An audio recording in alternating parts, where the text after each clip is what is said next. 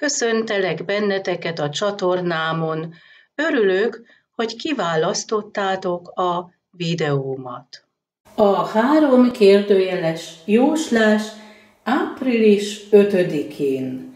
Az első kérdés az lenne, mik az ő gondolatai, tervei, mit akar megvalósítani, mi foglalkoztatja őt, ez a felső kártya itt megadja rá a választ.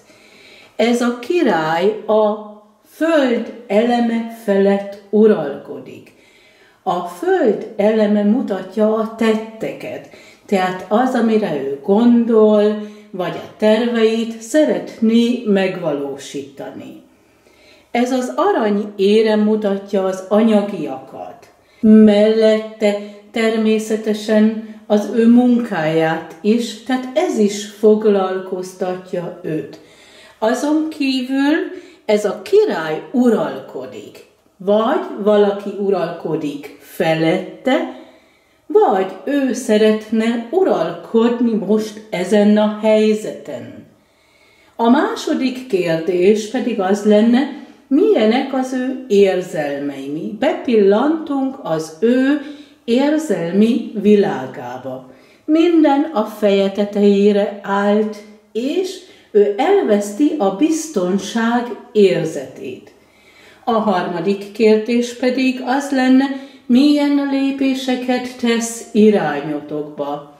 Ez a király mutatja a levegő elemét, az pedig a könnyűséget, a szabadságot és a beszédet.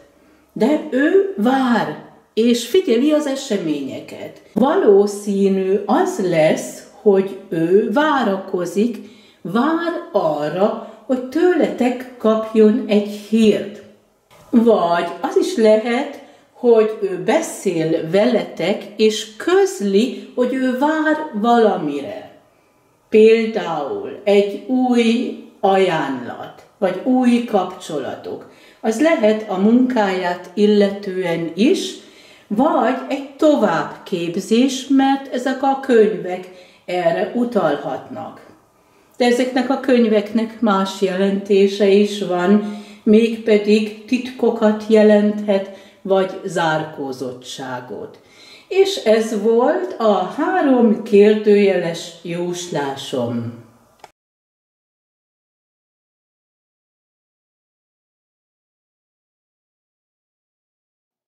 És ez volt a videóm, köszönöm figyelmeteket, viszont hallásra!